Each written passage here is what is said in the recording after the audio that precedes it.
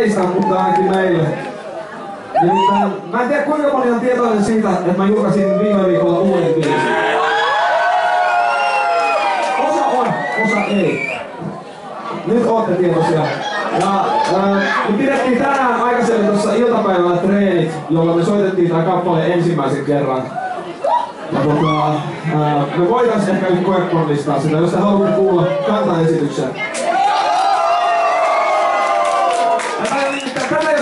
Koskaan aikaisemmin livenä, tää on ensimmäinen kerta. Ja tässä on aika paljon sanoja, mä en ole ihan varma vielä, että muistaaks mä niitä, mutta tota... Mä täällä jotenkin jumata etukäteen. Hyvin, hyvin tää menee. Tää menee Jussille kun treenattiin. Tää nimeltään Musta tuntuu muulta. Ja varmasti kaikille, jotka pukeutuu mustaan. All that, all beautiful.